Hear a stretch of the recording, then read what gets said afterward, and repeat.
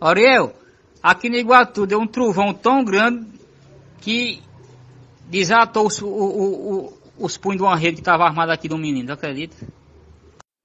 Ah, mas esse negócio dessa chuva aí eu não duvido não. Eu não duvido não.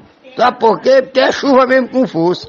Aqui em Areia Branca, pra você ver, aqui em Areia Branca a chuva foi tão forte, a chuva foi tão forte que a creche, a creche lá do Mutirão passou aqui em frente da minha casa, cheia de menino dentro.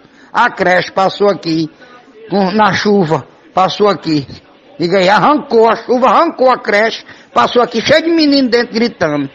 Até Paulinha dentro, menino da minha sobrinha. Menina Maria, é chuva. Isso não é mentira mesmo não, porque acontece que eu vim me embora de Pinheiro agora sexta-feira pra cá de noite, mamãe me disse que ontem deu um trovão lá com relâmpago que amadureceu a siriguela tudinho do pé. Tava tudo verde quando eu vi agora, os cachos. Amadureceu tudinho de uma vez. Aí tá chovendo, tá bom. E aqui que já tá escuro já, deu um relâmpago aqui que foi meia hora o céu claro aqui. Parecia que tinha amanhecido o dia e os galos subindo no puleiro pra, pra cantar, pensando que tinha amanhecido o dia de novo da chuva aqui. Aqui tá chovendo demais também. Passou um jumento em cima de um teto de uma Kombi, boiando e rinchando. Eu tentei jogar a tarrafa pra pegar o jegue, mas não consegui não. É. Depois o cara disse, não, precatinho é mentiroso, mentiroso. É, agora vai dar pra filmar. O meu celular tá destravado. Isso aí é lá chuva, menino. Isso aí é chuva pequena. Chuva grande deu foi ali em Sobral.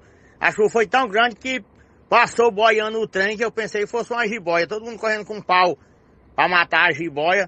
E pau nela, e pau no espinhaço, e água carregando no meio da rua. E a negada tamanho dessa jiboia, tamanho dessa jiboia. Negada dava cada cacetada nela, com o cacete voar as pra todo canto. Era o trem, quando for olhar não era o trem não, boiando na chuva. Foi ontem a chuva aí lá no Sobral. Chuva, viu?